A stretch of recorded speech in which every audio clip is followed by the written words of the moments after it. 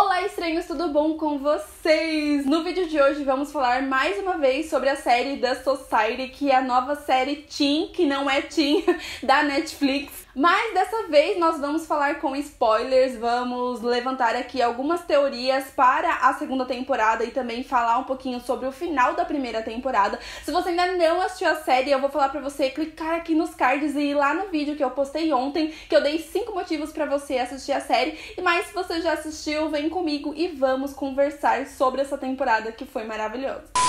Acredito que é a maior teoria de todas, só que para mim é a menos interessante, porque ela é muito simplesinha na minha opinião. A gente já viu várias séries e filmes que tem mais ou menos a mesma pegada. É que quando eles foram ali na excursão da escola, eles acabaram sofrendo um acidente de ônibus e aí nesse momento eles morreram e agora eles estão numa espécie de vida após a morte, só que eles não fazem a menor ideia que estão mortos. Prova disso é quando quando a mãe da Ali, que apareceu no primeiro episódio e apareceu novamente no último episódio, né? Tipo, nos últimos segundos da temporada, ela aparece lá com o cachorro, depois ela entra e começa a ler o livro de Peter Pan ali para as crianças e atrás dela tem uma espécie de memorial lá onde está escrito que todos eles serão lembrados e ali tem o nome de todos os jovens que supostamente morreram, que são os jovens que a gente conheceu na temporada inteira. Mas amigos, a minha teoria preferida é que na verdade eles estão em uma espécie de experimento feito pelos seus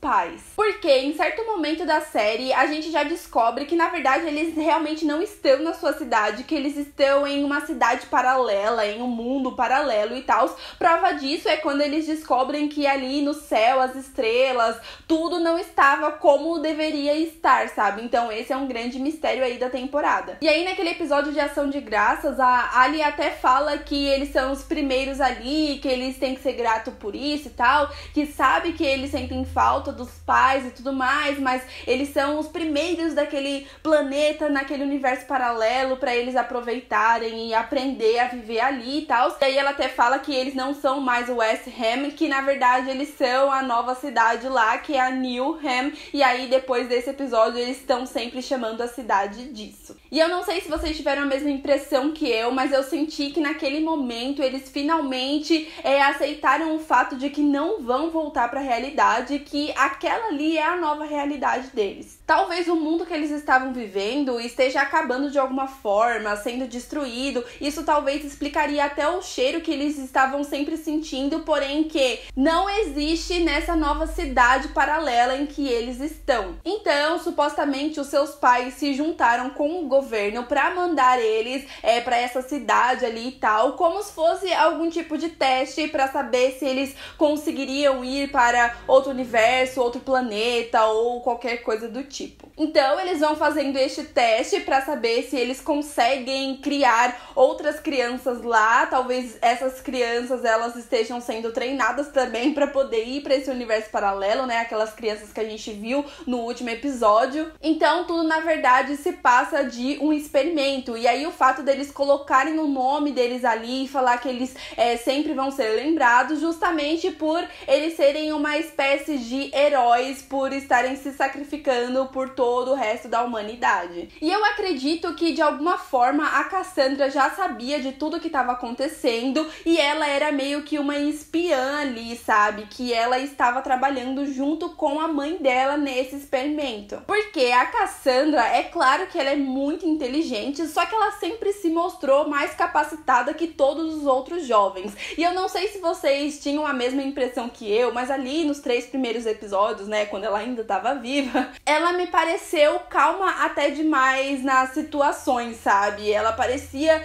ter tudo sob controle e tal. É claro que isso pode ser da personalidade dela, por ela ser mais inteligente, mais forte e tal, mas também pode ser o fato dela saber tudo que estava rolando. Aí talvez você vá me falar, mas Aline, a Cassandra morreu, então essa teoria, ela não faz sentido. Mas aí eu vou jogar outra teoria na sua cara que talvez essa outra vá fazer mais sentido na sua cabeça. cabeça. Porque talvez a Cassandra ela não tenha realmente morrido. Porque existe uma teoria que quando esses jovens eles morrem ali naquela realidade, naquele universo paralelo, sei lá, eles voltam para a sua realidade. Então, quando a Cassandra ela morreu ali naquela cidade, ela voltou para a sua vida normal.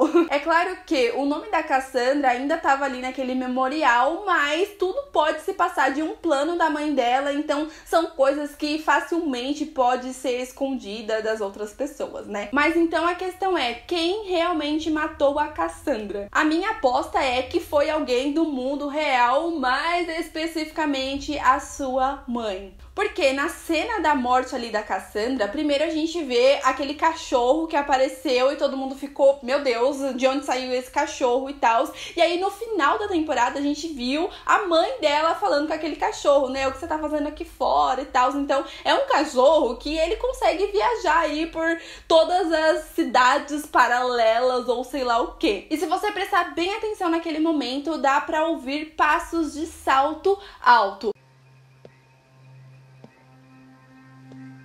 É claro que estava rolando ali o baile e tal, então provavelmente tinha muitas meninas de salto alto, mas a minha grande aposta é que foi a mãe dela, porque quando ela olha para a pessoa que vai atirar nela, você vê no olhar que é alguém conhecido, porque ela fica com uma cara de estar surpresa, mas ao mesmo tempo não tão surpresa assim. Então talvez com alguma estratégia aí, a mãe dela quisesse que a Ali ficasse na liderança, justamente por ser uma pessoa de confiança e ao mesmo tempo uma pessoa que não sabe de nada. Então, então provavelmente os experimentos que eles fazem com os jovens daria mais certo com uma pessoa que não sabe do que tá acontecendo do que a Cassandra que sabia de tudo. A última teoria para mim é a que faz menos sentido, né? É que aquele tal cheiro que eles sentiam bastante na cidade era na verdade um portal do inferno, é de purgatório, alguma coisa assim. E aí os jovens, eles foram mandados para começar do zero e meio que limpar a barra dos pais, sabe? Eles tentarem ser melhores que os pais e corrigir os erros dos pais, e exatamente por isso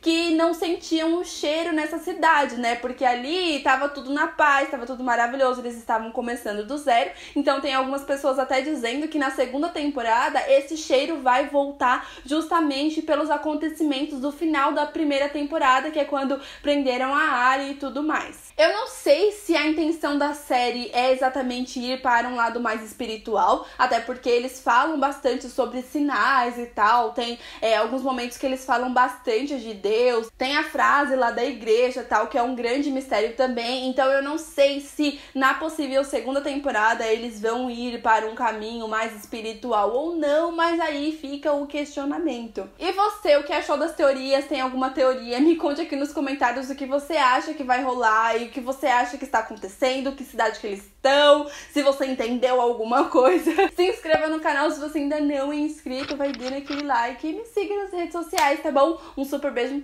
e até o próximo vídeo. Tchau!